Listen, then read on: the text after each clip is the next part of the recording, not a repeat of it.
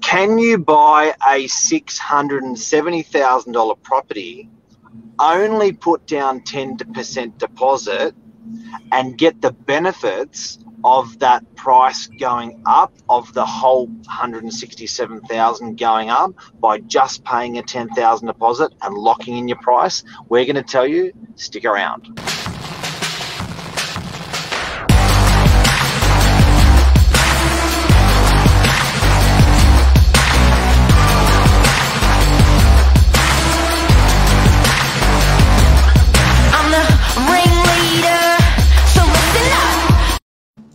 Good morning, everyone. Welcome to Morning Minutes. Myself, Michael Bergio, Mark Novak.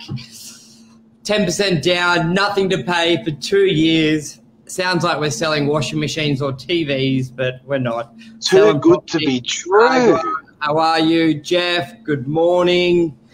This top off the plan units, Mark, or new constructions are a little bit foreign to a lot of people, and they're not all like a lot of agents or a lot of buyers. They're working in the.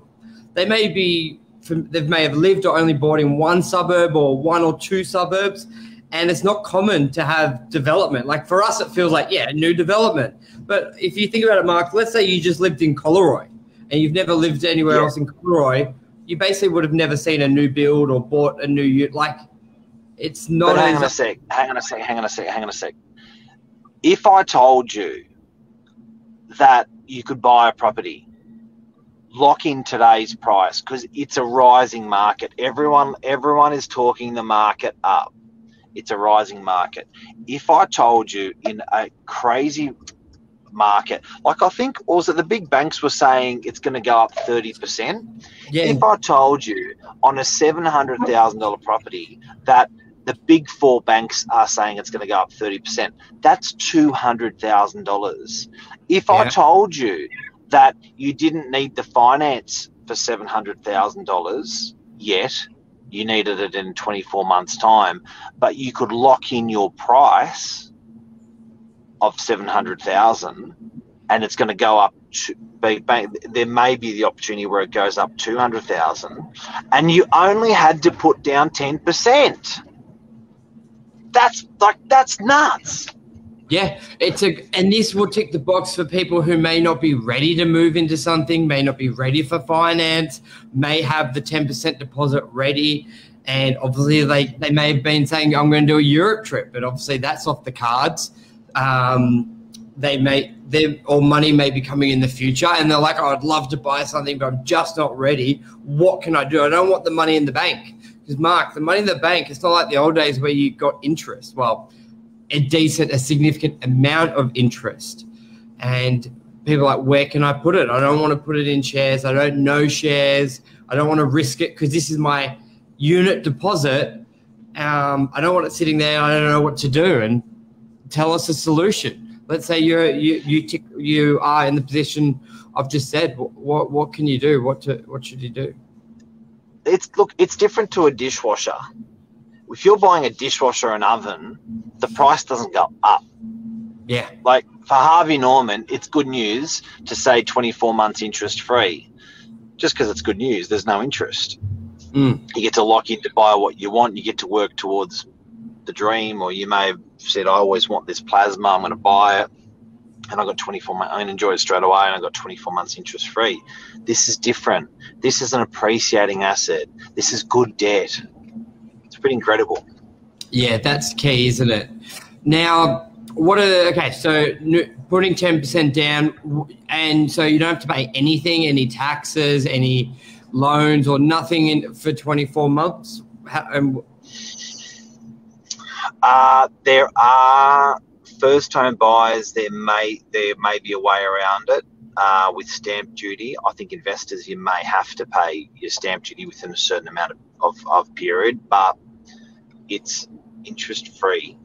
Uh, and what triggered us guys was was um, I had a I've had a couple of conversations this week, and people watching you may just know this. You may just think this is very obvious. Of course, I know that. But most people actually don't. And what triggered me this week was a couple of conversations I'm having. And I'm speaking to these guys saying, they're going, What?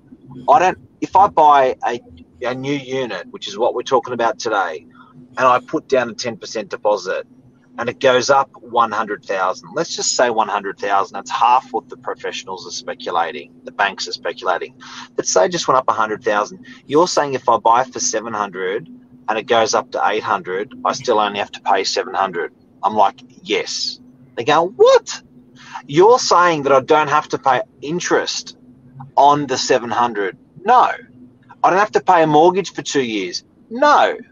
I don't, I don't have to because have, a lot of people, I don't have to have these guys were finance saying- for two years. yeah, like these guys are saying, what? I don't have to find, like, how does that work? Because I, don't, I don't want to buy off the plan because I don't have rent coming in to pay the mortgage for two years. People think like that, guys, and Yeah. so let's set the record straight today.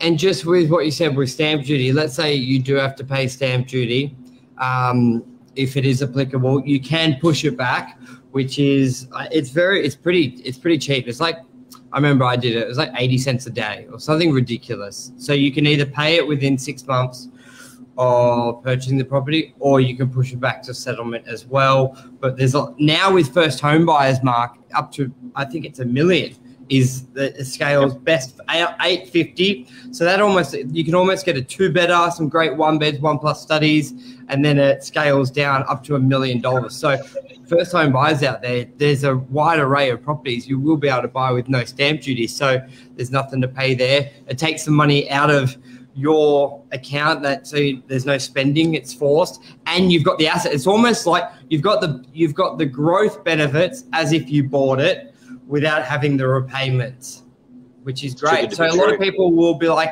i want to buy now but i'm not ready to settle and the market everyone's saying it's going to go up 10 20% this sucks Yes. well, look Yes. at a new property, put down your ten percent, and then you've secured it. You've just you've locked in the growth. You've locked in You've the locked growth. in the, why the hell would a developer allow you to lock in the growth? I don't get it. Why are they leaving that money on the table for them not to make and for you to make? yeah, banks. A lot of banks require for the funding of the construction and the land require the de- developer to get sales before construction can start. And then, like they say, before you start, we need 50% sales. And by one year, we need 80%. And so, a developer, you use a great analogy, Mark. It's like if you only sell three bananas a week to a customer and you want them to buy five bananas, and and in this scenario, bananas are property, um, but you only need three. The only way to encourage you to take five or to sell five properties in that period is an incentive. So a really attractive price, and then you'll be able to sell. Because Dee Why, let's say, only sells 30 properties a month, and if you need to sell 100 properties in a year, that's say 15 extra a month on top of what it normally does, there's got to be some incentive Yes. there. So that that's why. So people can think, well, there's got to be a catch. Where's the catch? Because it sounds too good to be true. 10% down, lock in the growth. I get a brand new unit, all these tax benefits. Sometimes you can customize it. Yeah. Do you know? Do you know how else it's also good? Sometimes people don't have the lending capacity today. Yes. Sometimes they've just they've just changed a job, or they've uh, just they've just started their business or whatever. They know 100% that fit, that business is good, uh, that they are that they're going to be pumping in two years' time.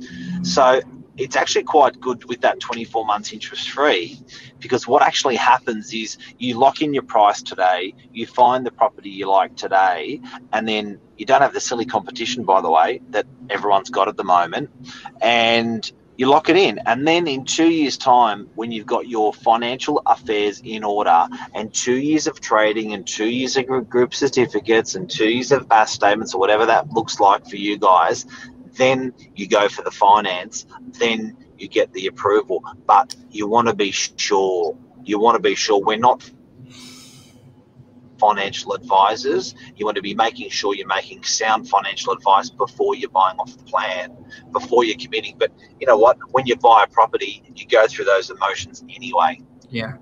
You know Mike? That's key. There's a lot of people who had great jobs, a lot of savings and a pre-approval, which they lost because they either lost their job, got a pay cut, and they're like, this sucks. I had a 20, 30% deposit and they won't lend me this. I'm stuck. Now I have to find a new job, um, work my way Job through. Yeah, I was on JobKeeper. This is a great opportunity for people who may have had a, a good deposit, a big deposit, minimal expenses, and you know you're going to get back into the workforce, and you know banks like to see a couple months work, like working. Um, you can buy a new property, put down the ten percent, and you go, well, in two years I'll be good. So it's it's. I think in these times with low stock, prices going 5 10 15 20% above the guides um, it's it's really good to look at it when you've got a development where there could be five or six you like five or six within your price range um, you've got a bit more time and you can go through the process So, guys, this morning, if you've just tuned in, we're talking about 24 months interest free, uh, locking in your price. This is a this is, for example, uh, an off the plan property that we're selling. Six hundred and seventy thousand is a one bedroom unit. Six hundred thousand is is a five uh, odd for a studio. Yeah. Then you've got two bedders in there for nine fifty. You got three bedders in there for just over a over a million dollars. And the key is the key is here. Another thing um, that you've locked your price. So yes, you've bought it for uh, today's price, but when you settle on it, you've locked in you've locked in your two- 2021 price, Yeah. and you settle in it in 2023. You're still paying a 2021 price. Here's another kicker: you can save a greater deposit. You can save Yeah. a greater deposit. So if you and your partner are good savers and you've got the ability of saving thirty thousand dollars a year, well, you put your deposit down today of ten percent, and you save another thirty and another thirty, and you're not paying interest, and that now you've got another sixty ready for settlement, and you spend the six. You know what you do when you when you buy like this, hmm. you become a good citizen yes for two years, your, your your wife says to you, "Look, should we take that holiday?" You go, "Look, at the moment, let's just hold off until we settle on the unit." For two years, Yeah. should we buy the new car? Let's just. You actually, for two years, you'll actually form really good disciplines because you're working towards the dream, the dream of buying your unit or settling in the unit that you've purchased. And you know what, Mark? You know, I was thinking with the first home buyer where you can only pull out of your super, say, 15 grand per year. This allows you to get through two financial years, if not three. So you can pull out a little bit more money. That's okay, so can you say that one again? Say that one again. So first, Yes. that's a big one. So first home buyers, you can use your super to purchase properties under certain conditions. You got to you got to qualify for these conditions, but there is the ability where you can use some of your super to purchase a property. So if you've got two, but you can only pull out so much per year. And Michael, Yes. you nailed it.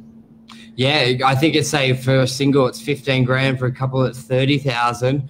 So you may have some cash, but you want to not pay mortgage insurance if it applies, um, and you pull out another thirty grand each. You got another sixty grand. So sixty grand for a six hundred k unit, and then sixty grand again. You got your twenty percent deposit. You've got a couple years. It, it- there's great benefits to do it.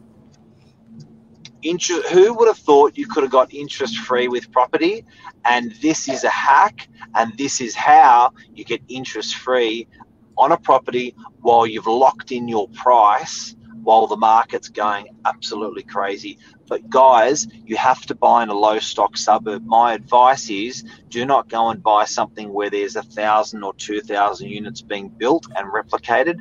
Buy in a suburb where there's low stock and there's not a lot of new properties being dropped into the suburb all the time. So be careful about how many properties are going to be dropped into the top of the funnel because coming out, you don't want too many properties coming out of the bottom. So Yeah. low stock suburbs if you're buying off the plan. And it's good to look at that way. You may think a lot of units are being built, but you got to look at how big the suburb is. And I think a good example is, let's say Dee Why three years ago, a lot of people like so much development, but people didn't take into consideration there were already 9,000 units and they're building 600. Yeah, 600 is a lot, but 600 out of 9,000 is it compared to areas, say like Parramatta, where they had at the time they had a suburb of 4,000 and they were building 4,000 or 2,000. Big difference. Or Very good point. So Strong. it, Strong don't point. um, just because you see a lot on the market or see a lot of construction just do a bit of research, speak to the agent. It'd be very easy to find out how many properties are in a suburb or a postcode. But I think that's a wrap. And yeah, lock in your price, interest free for 24 months. Too good to be true. It's not. Talk to us. Pass this show on to someone who it can help. Love ya. thanks. Bye. Yeah, mate.